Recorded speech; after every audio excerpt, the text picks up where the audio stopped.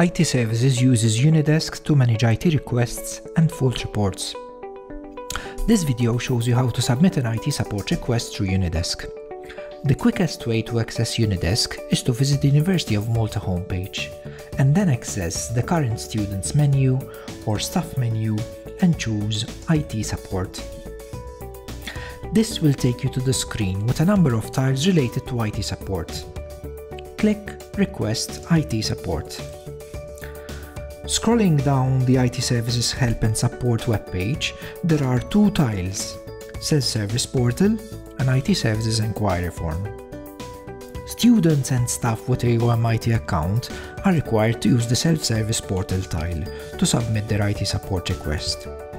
If you cannot access or cannot use your UMIT account, use the IT Services Enquiry Form. Otherwise, use the Self-Service Portal tile.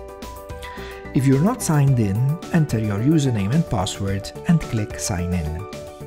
This will take you to the Unidesk self-service portal.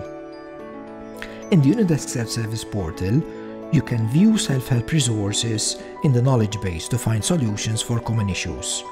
You can submit an IT support request, you can track the progress of your requests, and modify and update information on previously logged requests, and you can also give feedback on how your request was handled. Before you submit an IT support request, it's always a good idea to check the knowledge base first. The knowledge base style takes you to a database of fixes and solutions. Chances are that someone else will have had the same problem as you, and there may well be an answer to help you solve your problem straight away. You can also use the search facility to look up for information and user guides. Just type in the word and you will see a list of results. To return to the main page of the Unidesk portal, click Home. To report an IT problem, click the Submit a Request tile. Your personal details will be filled in for you by the system. Type your contact number. In the subject field, type in a brief but meaningful description of the problem.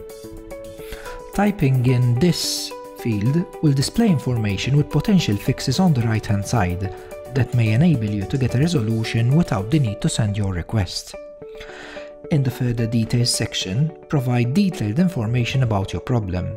For example, any error messages, your operating system, the browser, when IT services can call you at your office, etc. etc.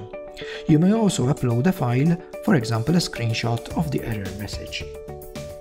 When you are done, click the Submit button.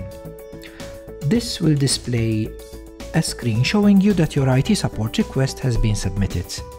Note that this screen shows a unique identification number for your request. You will also receive an email informing you about your submitted request.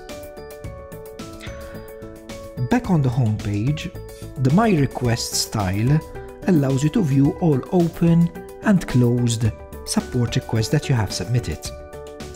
Clicking on the support request allows you to see updates from the IT Services support team for your requests. You can add comments to your request and you can also close your request here you will need to add a short comment.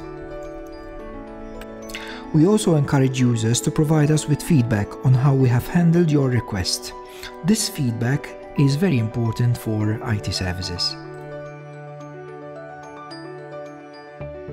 If you have any queries, please contact us on the following address.